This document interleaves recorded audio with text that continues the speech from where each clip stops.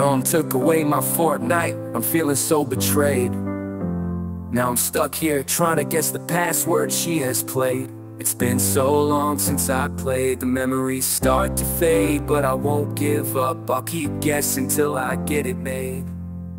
Can't believe this happened, it's such a shame. Locked out of Fortnite, gonna go insane. Trying all the passwords, but they're all in vain. Will I ever play again? Only time will explain.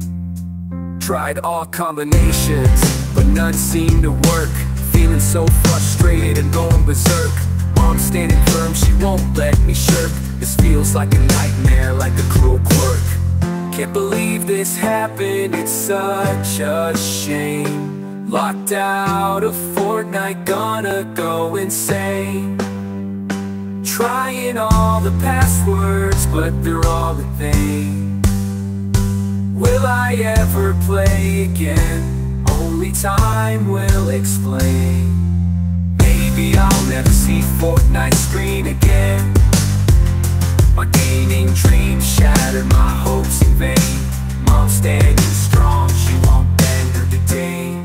I'll keep fighting, this won't be my end game. Can't believe